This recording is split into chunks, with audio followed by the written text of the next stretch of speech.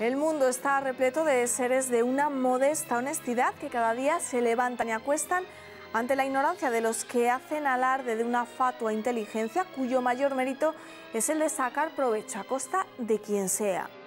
Billy Wilder retrató en el apartamento, una de sus obras maestras, esta máxima del mundo y lo hizo creando un par de personajes destinados a recuperar la dignidad de todos aquellos seres invisibles utilizados sistemáticamente por los que se creen muy listos. Una comedia dramática que resultó el mejor homenaje a los sinceros de corazón.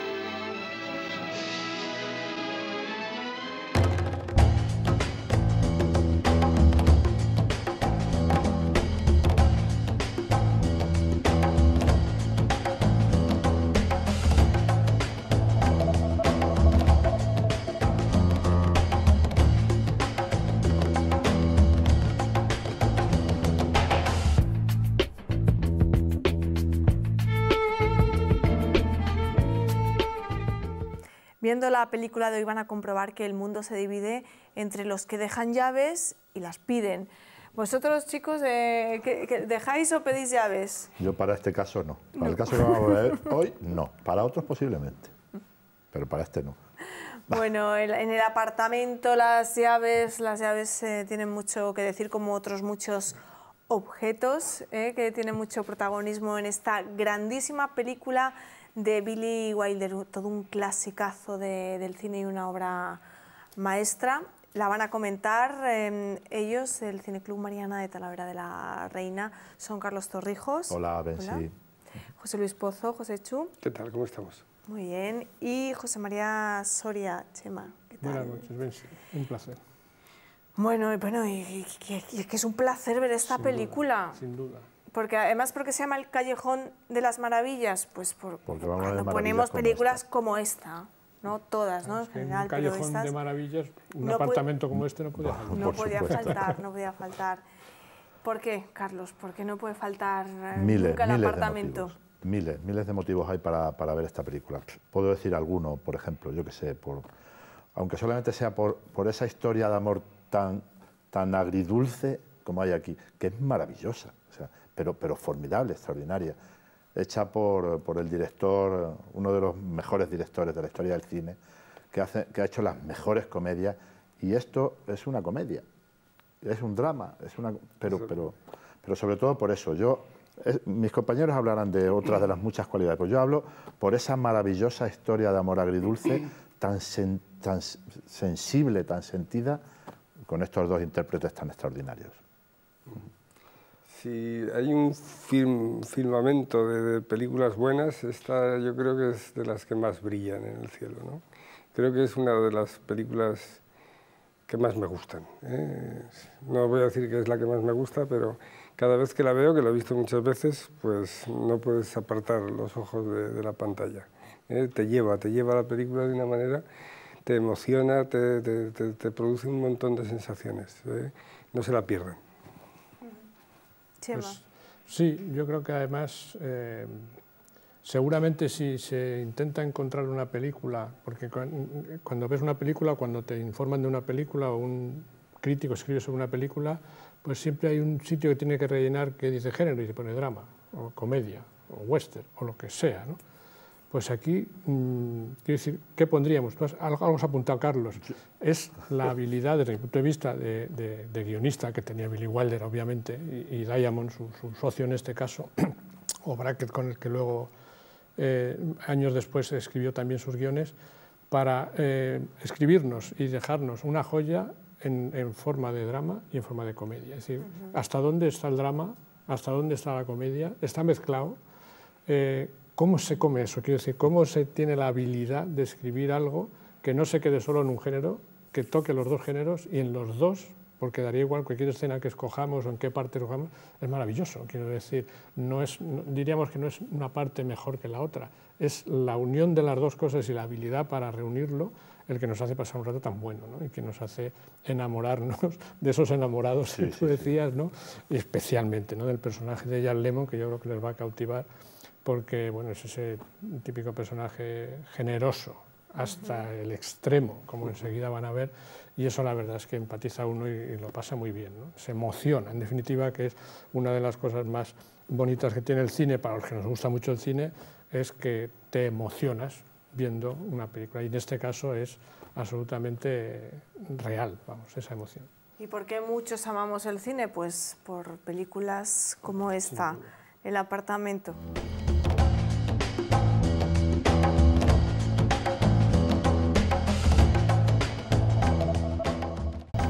Muy felices hoy en el Callejón de las Maravillas porque acabamos de disfrutar El apartamento, una de las obras maestras del cine donde Billy Wilder, que la rodó en 1960, consiguió lo que parecía imposible, el equilibrio perfecto entre drama y comedia, algo muy complicado que muy poca gente ha conseguido y sin duda, y si no lo rebatís, el gran maestro, el que lo consiguió fue Billy Wilder. Bueno, eh, Billy Wilder y Diamond si hablamos del guion, ¿no?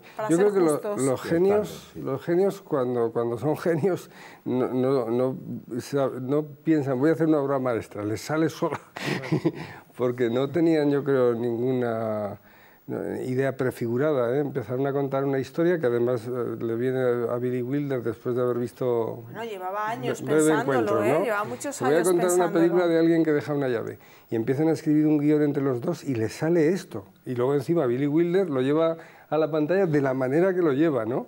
Además en un momento, fijaos, en que el cine está cambiando. ¿eh? Sin embargo, Billy Wilder hace una película clásica, totalmente clásica, ¿no? de, de, los años 50 o de los años 40, en medio de la Nouvelle Vague y de otros autores que están transformando el cine. ¿no? yo, pienso, yo pienso que el, el guion es la perfección de... Es, un, no, no, es un catálogo para seguir, un libro para estudiar, o sea, de cómo se hace un guion de cine para luego llevarlo, porque es que es perfecto, es que está medido todo, todo, está estudiado de tal manera que se ve luego patentemente en las imágenes, pero es que es un guion formidable, o sea, extraordinario. Yo pocos guiones como este he visto en...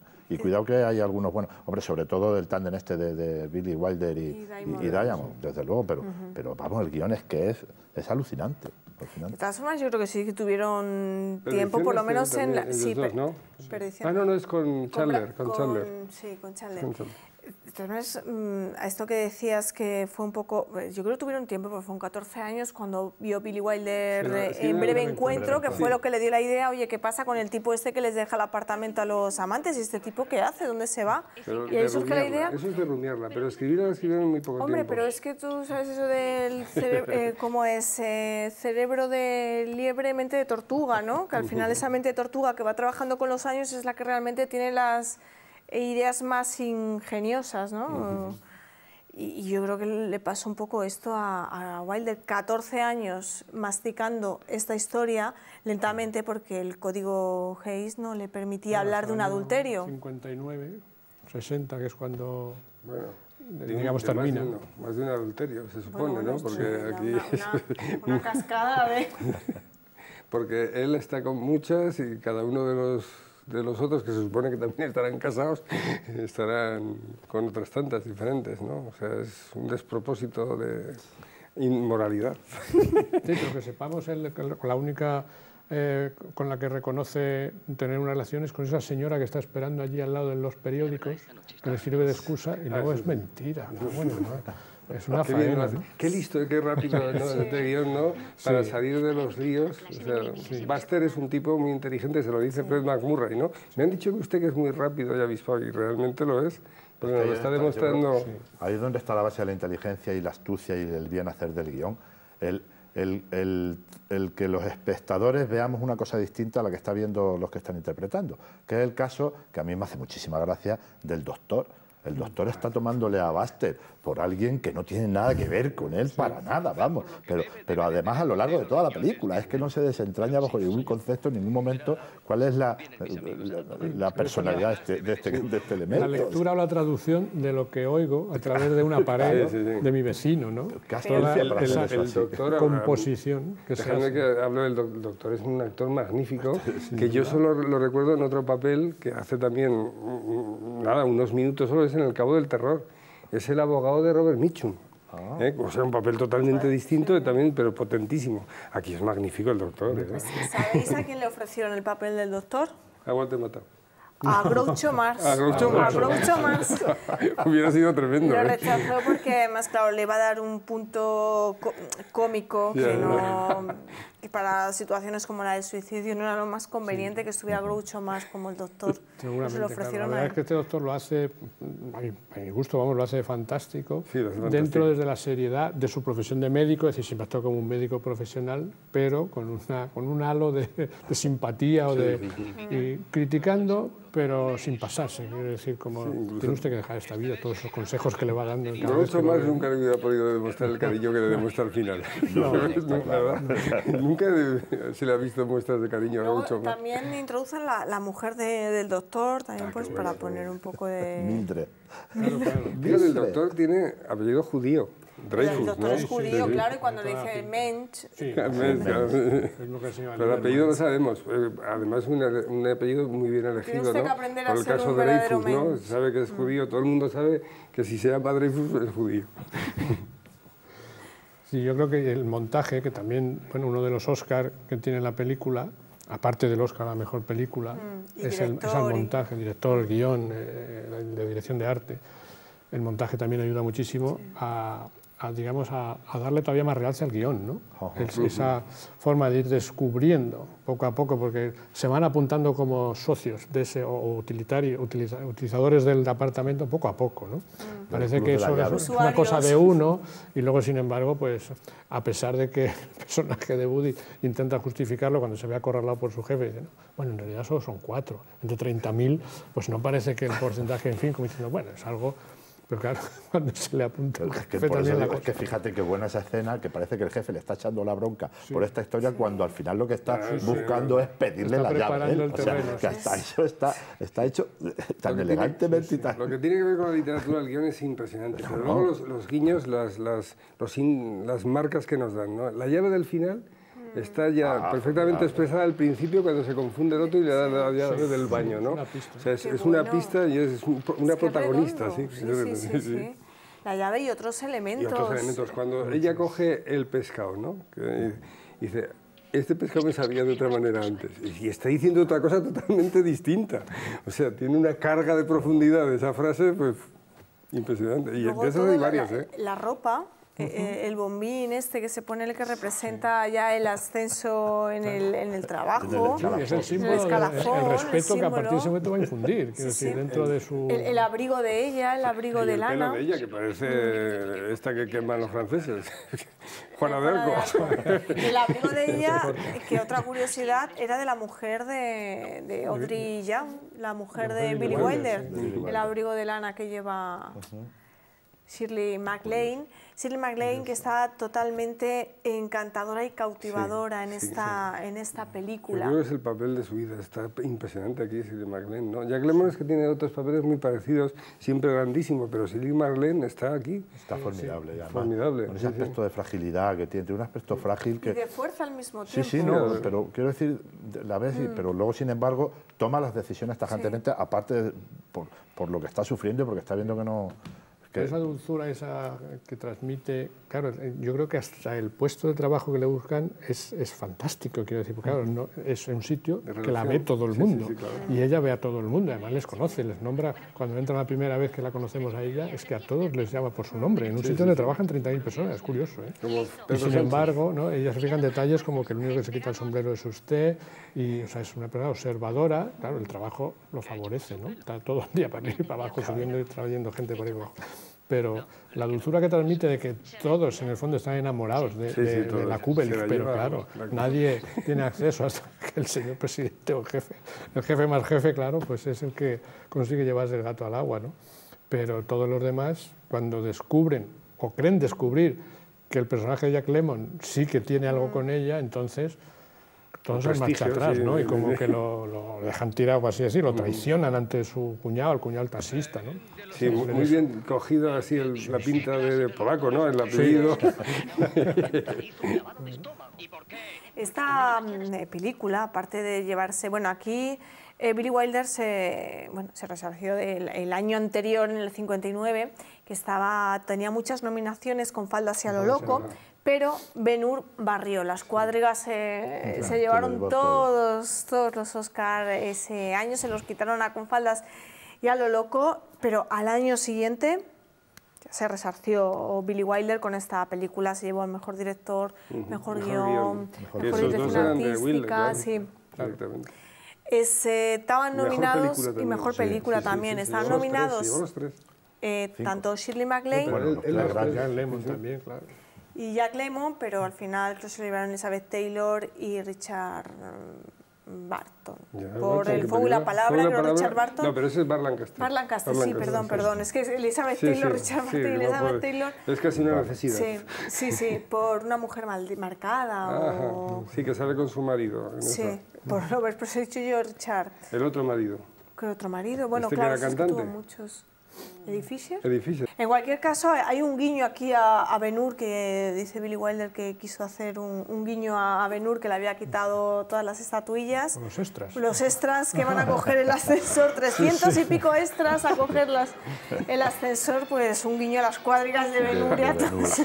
Eso muy bien, sí. Que tenía un, es que era un tipo muy inteligente y con un sentido del humor. La verdad es que para montar ese Sí. escenario de la oficina, de lo primero que vemos cuando el personaje de Lemon Woody está en su mesa 800 no sé cuántos y hay otros 800 no sé cuántos allí trabajando, es una...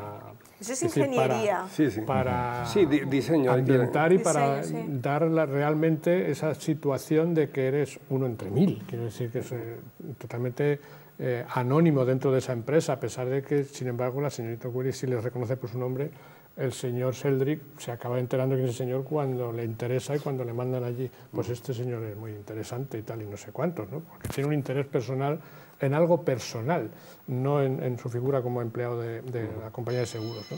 Y ese anonimato y esa eh, como diríamos, eh, rutina de la maquinita que está fantástica. Es que son todos son mil detalles que colaboran, ¿no? La máquina cuando... ta, ta, ta, ta, ta, ta, Sí, que todos son, todos son calculadoras. ¿Eh? o sea, Sí, están pero- Todos haciendo- tapan la pero, máquina a las claro. 5 y Sí, sí. 20, todos... eh, No son máquinas de escribir, son calculadoras para hacer Es estadísticas. sí. una de las mejores direcciones artísticas Sí, de la sí, historia bueno, del cine. sí. Ya solo con la oficina, Sí, sí, como no para sé quién quiere. se lo dieron. Sí, sí, Bien vamos. merecido. Bueno, dices No sé ingeniería, qué, pero sí, bueno, es un efecto técnico, óptico, es un efecto óptico, pero ¿cómo lo consiguen? Porque lo tienen que conseguir de alguna manera y yo creo que hasta es más complicado, me parece a mí conseguirlo de- como lo hicieron, que haber... Haber metido las mesas y a la gente allí Claro, trabajando. cogido una cara enorme realmente. largo, sí. Pero bueno, imagino que Bueno, el no, no efecto es tan difícil. Una vez óptico que no coges sería- las líneas bien y pones bueno, enanitos detrás en vez de gente... Expliquemos No, cómo, no. cómo lo hicieron. ¿Quién lo quiere mira, no- explicar? No, lo sé, no lo sé.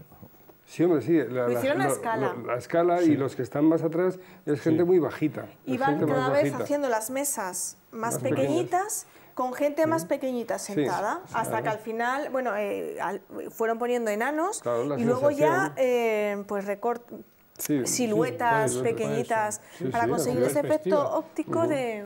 De otra manera, lógicamente, como la atención del espectador está, eh, bueno, el personaje de Jack Lemmon está en primer plano, eh, es muy difícil que tú te vayas a fijar, digamos, en el último, pero el ambiente, que eso Sí, siempre pero se por fija los la ojos... gente, se fija, pero Sí, está sí, muy bien hecho. supuesto, No, claro, pero da una supuesto. Sí, si las profundidad. mesas estuvieran vacías sería otra sensación, obviamente. Y hay movimiento atrás también, como hagan ese movimiento. Sí, sí, es pero- como cuando hacen una película de guerra ahora, Troya tal, Sí, entonces te fijan ahora- en los primeros y el otro está hecho por ordenador tal, Sí, y te ese movimiento. duplican. No, pero y ponen esto a no es, 10.000, por- ya, ya. claro, no es por ordenador, está esto hecho fue físicamente. mesa a mesa, cada vez más pequeñita y luego cada vez gente más pequeñita detrás y... Un- un dominio de la Ah, además bien el efecto de dibujo es... técnico, es de dibujo técnico. Ajá. y El efecto es eh, increíble. Y luego está ot- los escenarios, claro, fundamentales, Sí, no, el apartamento. Fantástico. A mí me recuerda algo de, de bandeja de plata, ¿sabes? Es un el- el parecido, incluso hasta las cosas que pasan, algo tienen. ¿no? En bandeja de plata la puerta no está ahí, sino que está en el lateral. Sí, está en el es lateral, más sí. estrecha la casa de en bandeja de plata. Y cuando veo en bandeja de plata y, y veo el apartamento, digo, ¿cuándo sale la raqueta? Nunca sé si la raqueta sale. claro. el Claro, porque apartamento en bandeja de de lo plata. importante que son los objetos, el protagonismo que tienen y todo lo que cuentan, lo que expresan. La raqueta es, todos nos quedamos con la raqueta, ¿no? Todos nos recordamos esa raqueta para Y los espaguetis. Con Y la habilidad que la maneja él y cómo deja un espagueti al final, ¿recordáis? sí, Cuando él está recogiendo hay un espagueti en Es que esa- eso es algo de lo que tú son comentabas. recuerdos. Todo este tipo de detalles. Tú al principio comentabas que el apartamento es una película que se ve una vez, otra vez, otra vez, otra vez. Y tantas veces cuanto las veas, siempre encuentras Siempre algún descubres. detalle, alguna personificación, alguna conversación que te. Porque todo está tan medido y tan bien hecho que es que a- a- a- algo se te ha pasado. Vamos, Lo has visto, pero quizás no has profundizado a la hora de analizarlo. Ya, ahora me fijo la importancia del tipo que toca el piano en el restaurante, Sí. por ejemplo, que tiene el disco, tal. Joder, pero es que son detalles, detalles sí, sí, sí. perfectamente Y hasta es- personajes que dibujados. pueden parecer, ¿cómo te diré? hasta podría suprimirlo y la película seguramente lo perdería. El personaje de la señora, no sé si es la propietaria la o la protera, Ah, sí, la que La que sube, sube un par de veces al principio. claro, le- escribe un par de frases fantásticas, quiero decir, para un personaje que va a salir eh, un minuto en pantalla, no lo sé, quizá menos. ¿no? Al principio cuando dice, "Ah, es- esas guarrerías que hacen ahí en Cabo Cañaveral, esos líos, esas consecuencias de esto, ¿no? Cuando A Castro también lo sube, menciona. Y cuando sube luego a su casa porque ha oído algo y sube otra vez ahí, y la, ah, es usted, señora Lieberman, y de qué, voy a ser Bardot. O sea, Claro, es que es de un ingenio, no sé. Es que Castro acaba de estar en Nueva York, ¿eh? Cuando hacen esta película, Los Castro está en el 60. 50 y- 59 es cuando va Castro a Nueva York. Lo tenía muy reciente. Claro, claro, estaba ahí El, mismo año de la Revolución, no fue en el 59. 57, 59. 59. Sí, pero va enseguida Castro. Y además ahí no, no es todavía comunista Castro. Vamos, no se ha declarado Castro, que, que la, eh, él, eh, Billy Wilder era muy crítico con los eh, regímenes dictatoriales, y aunque Castro acaba de empezar, pero Billy Wilder, que creo que tenía más olfato que nadie, ya se olía lo que iba a pasar en Cuba. Probablemente. Y Hitchcock hace la película a raíz de ese viaje estos años hace Ese ¿cómo otro se titula? Otro personaje particularísimo, el de la mujer esta que... Que es tiene que- que- que, por favor, que tiene unos personajes que son tan, tan completos y tan particulares que te llenan. Porque el personaje de la mujer está, ¿Y que cómo tiene el novio que, que es jockey que- y caballos, que esa pesa cuarenta y sí. tantos kilos. Es tan mono, 45 es tan kilos. pequeñito, es tan mono. Parece un chihuahua. ¿Y cómo bailan, eh? Con las dos caras y encima de Esa imagen, ¿vale? Con la película. Luego las- el personaje de la secretaria, es que todos, todos, sí, es sí, que sí. No... Todos los personajes tienen frase y algunos que ni la tienen, eh, vamos, como los que hay en el, en el, La mujer el no pianista que tú decías y, y el camarero, en fin, la gente del restaurante chino donde van un par de veces. Mm, Todo, todo encaja, no sé, como que no sobra nada, es la sensación que te deja, ¿no? de que todo está allí por algo. ¿no? Hasta to- todo ese montón de gente que entra al teatro cuando él se queda solo en la puerta. ¿No? Me parece que una representación, claro, el teatro está lleno, lógicamente, y Es que cómo se le queda dices, solo. Está todo medidísimo. El cuñado, vamos a ver. Llega el cuñado y cuando llega a la oficina, los otros están hablando y justo dicen, coño, le hacemos una ayudita a Buster cuando le dicen dónde. ¿Quién es Buster? a, a- o a- ¿Cómo es? Eh, eh, Bob- no. Woody. Sea, ¿No que es es que todas esas cosas están tan el medidas. que Ah, diminutivo es Buddy. Sí. Buddy. A ver, Que bueno, Está- Baxter es con X, ¿no? Si no sería fantasma, ¿no? Sí.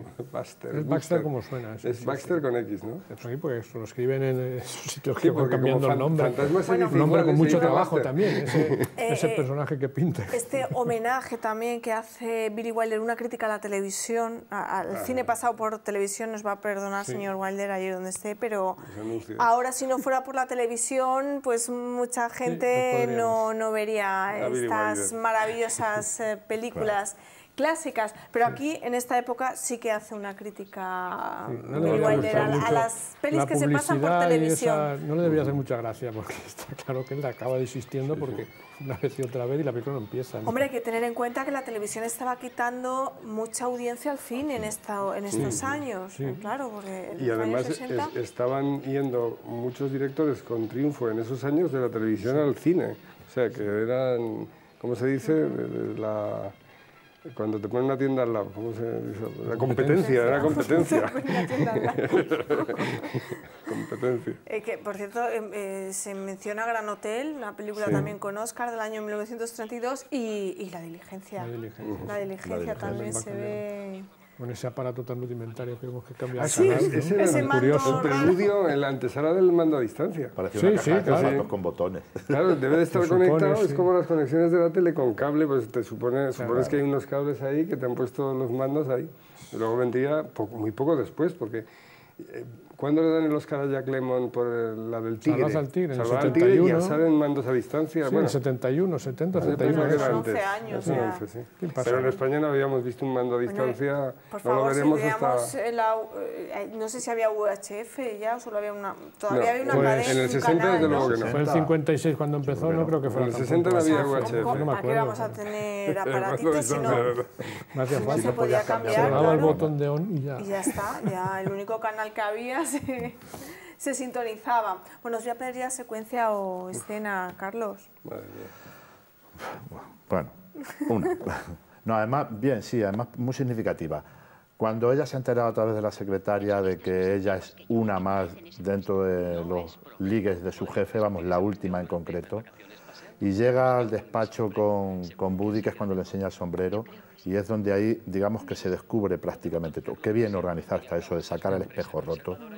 O sea, ella va con la preocupación de lo que va a sacar el espejo para mirarse. Él está contentísimo, le enseña el sombrero porque parece que tiene cierta aproximación a ella. Y cuando ve el espejo, qué cambio. O sea, bien, es verdad que Jazz Lemon es- está maravilloso, no hemos hablado de ello, pero está formidable. Pero es que ahí es donde se le ve el cambio que pega. Bueno, mira, precisamente lo que estamos viendo ahora ahí. Es extraordinario. Es, y ella, ella, qué cambio ha pegado de lo contenta que estaba de cuando, cuando le han comentado la secretaria las otras relaciones que tenía, también qué cambio total, que se ha dado cuenta de que lo que ella pensaba que iba a ir a algún sitio no va a ir a ningún lado con el jefe. en el fondo, claro, se encuentran en la decepción. Exactamente, los se dos. encuentran los dos, cada uno, uno por una cosa y el otro por la otra. Otro, otro, otro, mm, digamos, una vuelta más del guion para hacerlo de esa manera tan extraordinaria. Es que ahí, en esa escena, vamos, esa- esas secuencias me, me encantan, vamos, están hechas extraordinariamente. Y sobre todo la interpretación de ellos, que son formidables, claro. Sí, están fenomenal los dos. Pues. A ver, yo me voy a quedar una de guion y que luego sale eh, la, la Shirley MacLaine, pues porque está en estado de gracia en esta película, ¿no? Cuando Fred McMurray la echa en brazos de Jack Lemmon.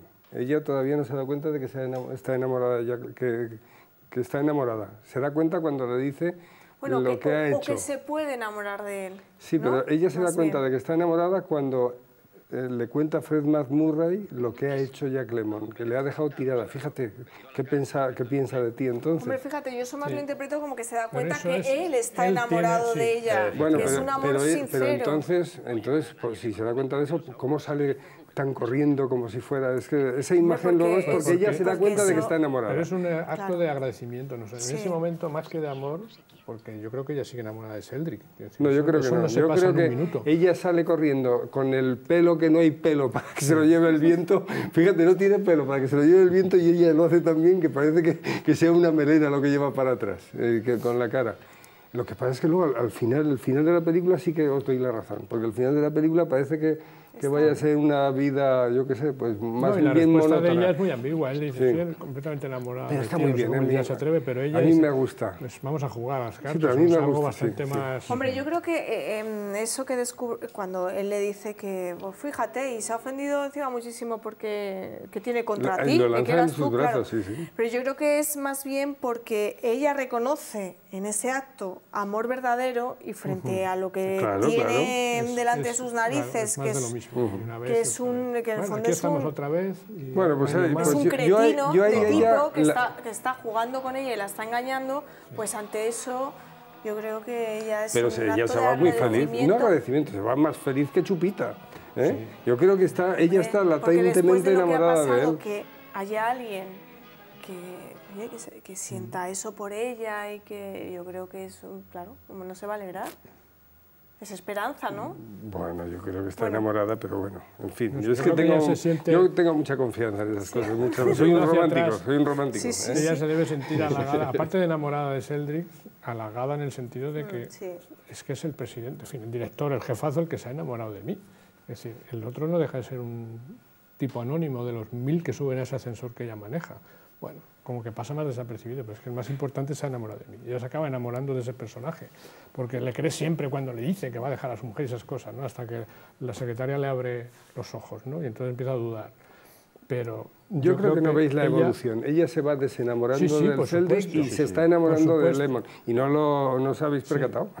No, sí, yo estoy de acuerdo Sí, con José sí. Chu. Incluso al final, si os fijáis en la noche de fin de año, cuando suenan las campanas o lo que sea, le da un beso y ella está estática. Sí, sí, no lo Simplemente. quiere ya. Ella ya. quiere a Jack Lemmon. Sí. Hombre, lo que yo creo que está es ya hastiada, está Sí, eh, casada. efectivamente, Entonces, bueno, no creo tampoco que se le haya ido el enamoramiento tan rápidamente. No, No. ella empieza a tomar contacto del enamoramiento cuando le pega el, el cuñado el puñetazo y le dice, qué loco, qué tonto y qué loco es usted. Ahí Sí, yo que creo se que está ya... Porque sí. ella es, quiero decir, es una persona buena, con unos valores también, es honesta, Sí, sí. es como él. Entonces, De alguna claro, manera, ¿cómo no, ¿no? vas a reconocer eso si lo estás viendo? Otra cosa ya es que te enamores, pero eso es capaz de reconocerlo y agradecerlo. Pero a la misma vez pensé algo, hombre, no quiero decir que se enamore en ese acto, no, pero va ahondando. a- Yo creo que sí que se enamora.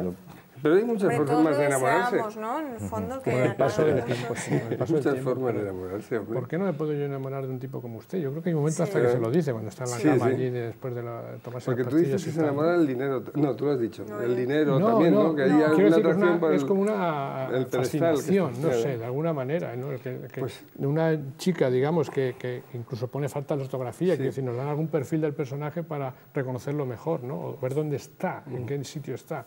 Está en el ascensor y tiene faltas de ortografía. El otro es el, el jefe, ¿no?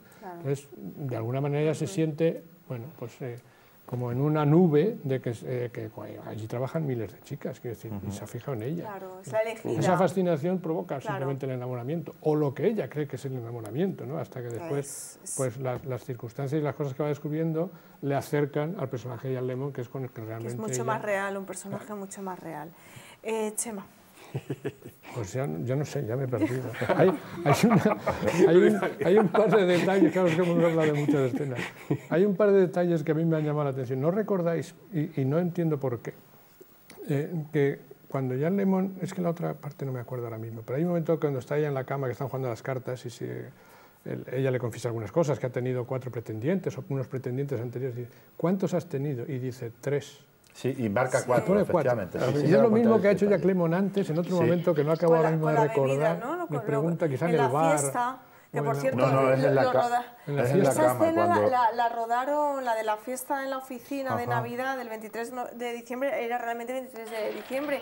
Pero igual les decía que nunca había conseguido una escena tan realista porque realmente, o sea, porque Es que lo haré, la viviendo gente el la gente estaba No hubo- viviendo el 23 de diciembre. No hubo que. Entonces no hubo que, sí, sí, que salió redondo por eso. Pues, sobre- Perdona, ¿cuál es otro he momento? Decías, ¿tú Sí, yo creo que es eso, cuando están en la fiesta, que cuán- Sí. cuántas ha bebido, lleva, o Ah, cuántas... sí, ¿cuántas copas ¿Cuántas- de cuántas vida? Le pregunta Frank. Pues. Lo he visto muchas veces eso y no acabo de entender muy bien por qué en los dos casos, porque eso se repite, o sea, es curioso. Alguna intención tiene, está está claro, mal la no sé. no sé No, si es- una broma o es, no lo sé, porque- pero es curioso, ¿no? No, porque al indicarlo y todo Sí, con los... es que las dos veces, está bien, cuando ella sí. dice lo de los tres, también hace así con los cuatro dedos, no sé. Sea, detalles, los detalles de la señora Lieberman que hemos comentado antes, o la señora del, del médico, las dos o tres veces que sale, todos esos planos que hay en el que se ven las dos puertas, en primer plano en término a la derecha, la puerta del médico, al fondo la de tal, ¿no? Y la escalera. Es un sitio mm, maravilloso para, para, para encuadrar, ¿no? Es- esos planos, ¿no? Siempre que Cuando- enfocan se ve la puerta del cuando médico. sube Fran en, en el último momento de la escalera y se queda paralizada al oír el disparo, el disparo Ah, lo que ella cree claro. que es el disparo, ¿no? Otro ¿Cuántos suicidios más, hay en la sí. película también? Es curioso, es Sí, recurrente, sí, ¿no? Sí, sí. Suicidios o intentos de suicidio, vamos, ¿no? Cuando él se dispara, le cuenta lo de la rodilla, el propio suicidio que hace Kubelik, ese que ella cree que De es otro maneras, eso es lo que, lo que más se coge con pinzas, ¿eh? Porque que coja la pistola uno cuando tiene un policía al lado. Ya, pero viendo cómo es el, cómo es el personaje que interpreta Jan Lemon, te lo Ya, crees. te lo crees. Lo para creer, llevarse ¿no? un tiro en la cabeza. Bueno, nos, nos ten- nos tenemos que ir ya, es una lástima, Sí. porque nos quedaríamos aquí horas y horas hablando dice, del apartamento. como dice el camarero, es una lástima. Se tienen ustedes que marchar y estar pegado a ella bailando. Qué bueno, qué bueno. Y el papá el papá Noel. Bueno, ya solo, solo, te solo dejamos. decir que esta era la película más querida por Billy Wilder de su filmografía, o al menos así se lo confesó a Cameron Crowe en el libro de Conversaciones con Billy Wilder, era la, la película más Pues querida, preferida para Billy Wilder de las para elegir, suyas. ¿eh? Sí, Sí, tenía desde para luego. elegir. Desde Muchas, luego, bueno, todavía nos quedan unas cuantas de Billy Wilder por ver en el Ah, callejón. ¿eh? menos mal. Así que volve- volveremos con este ¿Y si no gran maestro otra vez? Y si no la ponemos otra vez, que eso, creo que nadie se va a quejar, no A ver por creo. dónde anda la llave, a creo. ver por dónde anda la llave. Bueno, hasta pronto.